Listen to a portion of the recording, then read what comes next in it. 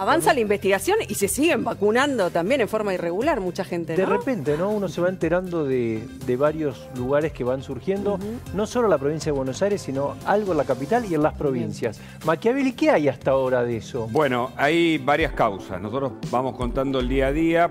Recordemos, la causa madre la tiene eh, María Eugenia Capuchetti y Eduardo Tayano en la justicia federal. Allí declararon eh, funcionarios, eh, por ahora en testimoniales, pero va a haber novedades esta semana. Ahora bien, de los 60, aquel listado que generó la renuncia o el paso al costado de Ginés González García, que podría ser premiado con una embajada en Colombia, bueno, está en veremos ese dato, eh, se fueron sumando muchos más. ¿Sabes cuántos hay por ahora registrados ¿Los en el tenés sistema? contados a todos? No, Todos- contados no. Hay identificados muchos que son escandalosos, casos escandalosos. Ajá. Pero hay 6.000 vacunados en la provincia de Buenos Aires. Los últimos de Mar del Plata. Mirá, dos milagros, así, dos milagros. ¿Lo pones entre comillas? No. Lo ponemos con nombre propio porque Milagros Benza, 19 años. Milagros Armani, 21 años. Ambas militantes de la Cámpora se vacunaron en Mar del Plata. Hay funcionarios... Eso es, eh, claro, eh, la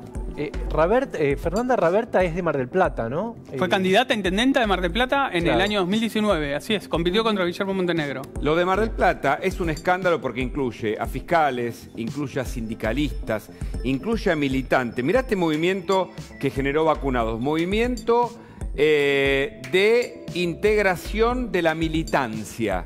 Personas muy jóvenes que se vacunaron, insisto. Eh, no hay que llegar al extremo, pero lo decimos. Si esto fuese el Titanic, si la carrera es a favor de la vida y en contra de que personas la pierdan, algunos agarran el, el bote de salvavidas mucho antes que otros y tienen privilegios.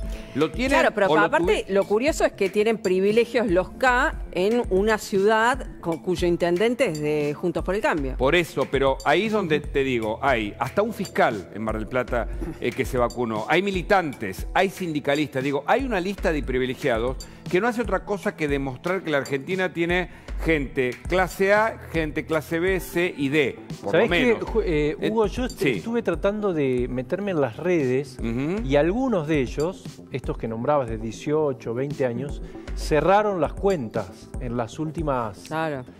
no sé, 24 horas. Porque esto en realidad hace seis días que se viene hablando del tema Mar del Plata Sí. y van conociéndose nombres, ¿no? No sé si vos estuviste tratando de, de husmear a ver eh, quiénes son cada Bueno, uno. eh, gente del organismo que dirige Luana Volnovich, el PAMI, por ejemplo, eh, Fernando, mira, te digo el apellido, eh, un funcionario importante, Fernando Magni, 39 años, Santiago González, también treinta y tantos años, el fiscal Petigiani, el propio fiscal hizo la denuncia.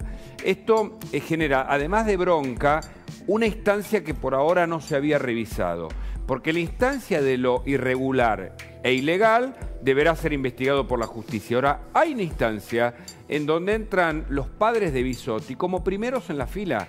Hay mucha gente que no está pudiendo ingresar y que son los mayores de 70 años, es decir, los primeros que tienen el derecho a acceder a la vacuna, que no están ingresando y los, y los padres de la ministra de Salud, cuestionada y por ahora fuerte en el cargo para el gobierno, para el resto de la opinión pública y aún para la justicia, veremos. me Pero los me se sorprendió que no hizo tanto ruido, ¿no? No de los padres de... No hizo ruido porque en esta Argentina, en donde se discute todo el tiempo lo ilegal, parece que lo ético no es tan importante.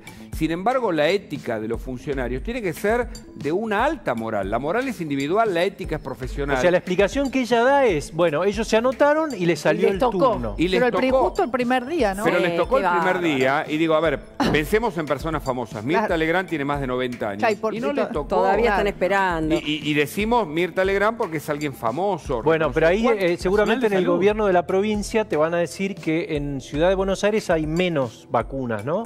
Porque en este caso se vacunaron en Escobar, tienen domicilio Sí, capital en Escobar. sí, pero hay explicaciones que no son explicables. Bueno, pará. En todo caso, hay, hay respuestas.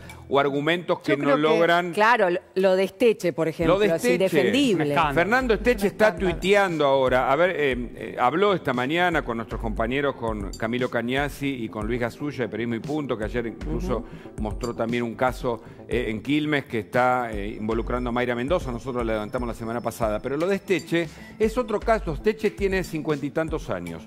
Recordemos el caso de Esteche, que además estuvo preso dos años, después liberado, en la causa del memorándum de entendimiento con Irán, en donde están procesados Cristina Fernández, Zanini, Sí. Mena, Delía, eh, Esteche era uno de ellos, eh, y, y Esteche, como docente, dice que él como tiene una patología logra vacunarse. Pero, a ver, docente universitario, entre los turnos que se están escalonando para docentes, está en el último escalón. O sea, que él no le correspondería haberse si todavía no se, pero si todavía no se vacunaron, no se vacunó todo el personal Pero- de salud que está en primera línea. Yo, a ver, eh, O sea, no se los que- vacunaron Los que somos docentes recibimos una solicitud de inscripción.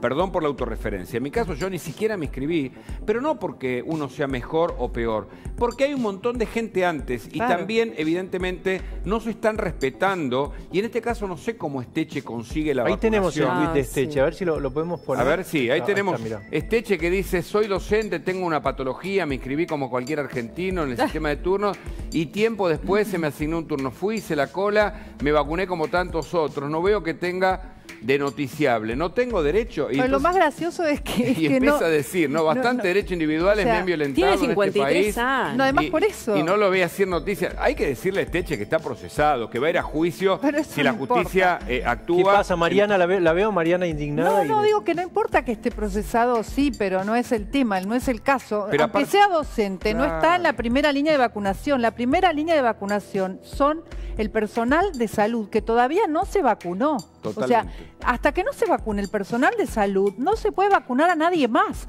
Luego los adultos mayores de más de 70 años, que están encerrados hace un año, Esteche no tiene ninguna, no se puede vacunar. Pero además. No, no, es un descontrol a esta altura el plan de vacunación. Pero claro, Ella Guadalupe, y no el están siguiendo ningún criterio. Claro, el descontrol de victimizarse porque dice que los derechos individuales. Este tiene que rendir cuentas ante la justicia en varias causas, pero sobre todo en el memorándum de entendimiento con Irán, en donde otros, entre otros, Parrilli también está procesado. Hay que recordar las causas en las que actuales funcionarios están procesados. En todo caso, lo de Esteche es inexplicable. Por más que ponga tweet, me parece que obtener una vacunación antes que otro puede no ser ilegal, pero deja mucho que desear.